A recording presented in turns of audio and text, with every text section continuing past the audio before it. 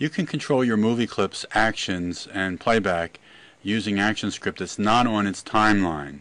This makes your movie clip more usable and in other combinations. Then you can decide for each instance of the movie clip what kind of controls you'd like to add to the timeline that hosts it and how it will work. Here are our starting and completed examples. Both contain the same assets. They both have a play and stop button and they have a rotating uh, movie clip. Uh, the first one, the buttons do not work, and the second ones, they are controlling the movie clip. So let's see how we do this. We'll close these, and we'll open up the starting file, and we'll save it with a practice name, and I'll just call it practice.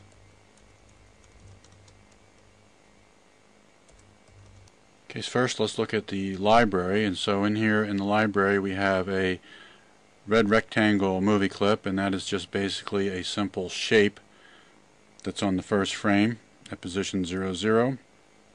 Then we have a red, red rectangle rotating clockwise movie clip and we'll open that one and that is a 120 frame motion tween and it's basically tweening the red rectangle.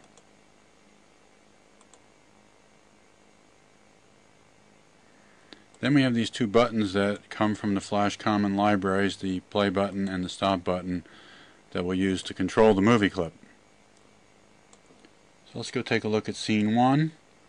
And scene 1 you'll notice we're only using one frame and the lower layer called rotation clockwise we'll select that and what it has on it is this instance of the red rectangle ro uh, rotating clockwise movie clip and we can see that up here in the properties we use the swap buttons and we actually see the whole name of what's selected.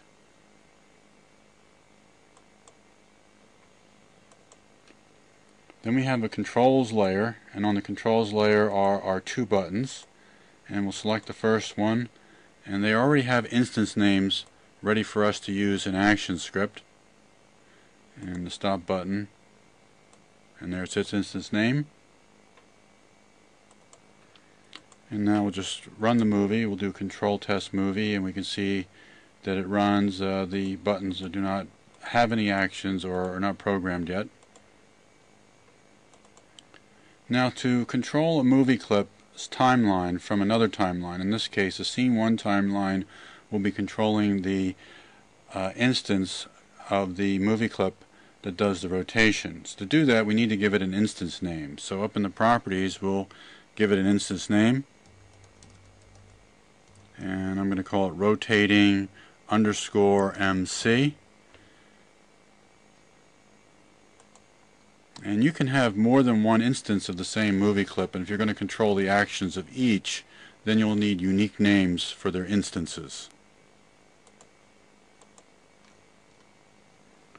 Now we'll add the actions to the action script layer that we have on our main timeline and we'll do that by opening up a file that has in it the template code for buttons in ActionScript 3 and here we have it. And then we're going to select all this. Don't need the first comment line and we'll copy it. We'll go back to our practice movie and we'll select that first keyframe that's in the ActionScript layer. Actually it's the only one. Right mouse click choose actions and make sure the script assist is in the off mode. That means the button is up and we'll just right mouse click and choose paste and I'll just readjust this so we can see it better. Okay first step is to put the button names in where it says button instance in three places. So let's do that. The first place and we're going to call our button is already named. Play underscore button and I will highlight that and copy it and put it in the other two places that we put it in. And one more.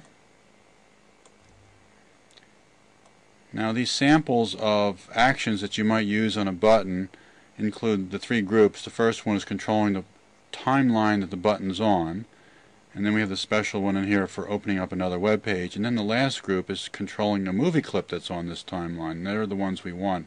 We want this one here that has uh, dot play and dot stop. So we'll just delete all the other other lines that are inside of this movie. Uh, inside of the script I mean. And just leave these two.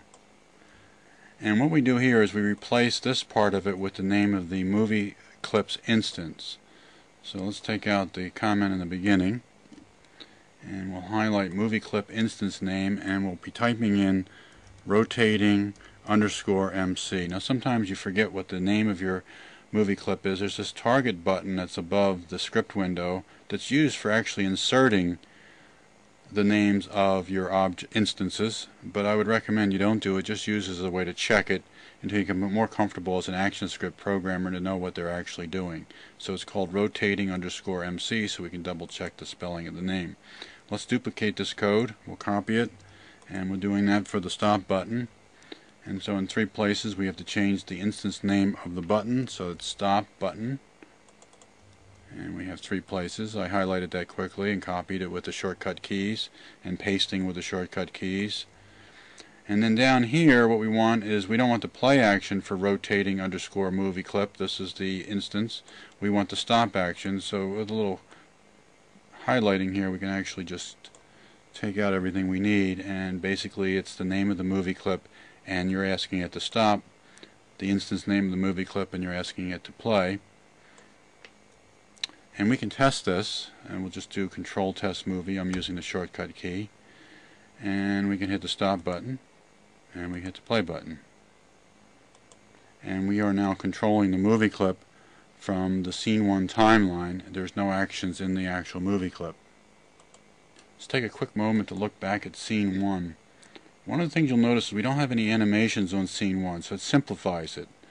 And that's a, a major advantage. And of course this red, uh, this rotational uh, movie clip that we have here could be used again in other ways and it doesn't need to have controlling buttons. So it's completely free of the buttons. They're separate and work uh, independently. Okay. So now we'll just uh, test the movie so we can see it running. And uh, let's go select the actions. And there you have it. Basically a good example of using ActionScript to control a movie clip's timeline from another timeline. Think of a movie clip as an autoplay timeline that another timeline can include or host, and then using the instance name the other timeline can control its playback.